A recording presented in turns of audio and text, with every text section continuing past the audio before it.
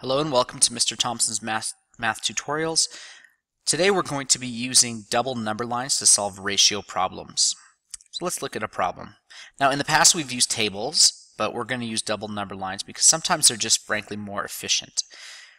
So let's look at our problem here. A cake requires 2 cups of milk for every 6 cups of flour. How many cups of milk, milk are required for 18 cups of flour?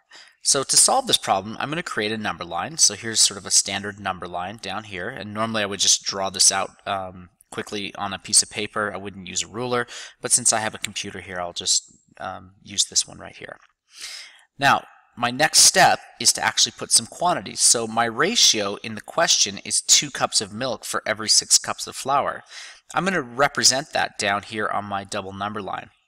I'm going to represent the 2 up here, so that's my 2 cups of milk, and here's my 6 cups of flour. And then I'm just going to continue on adding to my number line. So because these things are varying proportionally, if I add two more cups of, of milk, I need six more cups of flour. So 2 plus 2 is 4, and 6 plus 6 is 12. So that's how I'm getting these numbers here, but they're varying proportionally. In other words, every time I skip a line on this number line, I'm going to add 2 on the top and 6 on the bottom. So here's an example of that. And as you can see, I've actually solved my problem right here. It's going to require 6 cups of milk for 18 cups of flour.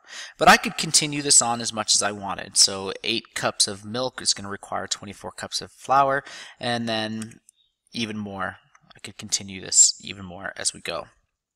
So let's have a look at this problem here. It says an apple pie requires 2 cups of sugar for every 3 cups of apples.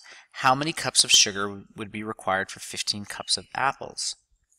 So what I'm going to be doing is I'm going to be writing on my double number line.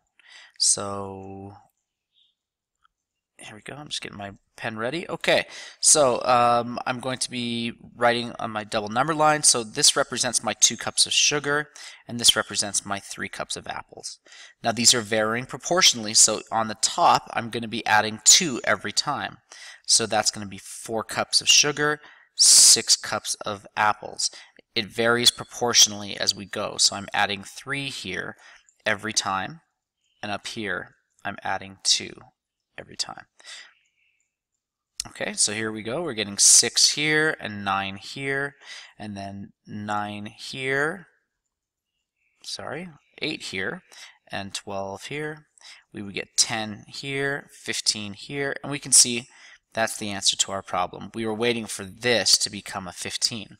So that would tell me that the number of cups of sugar required for 15 cups of apples would be 10 cups of sugar.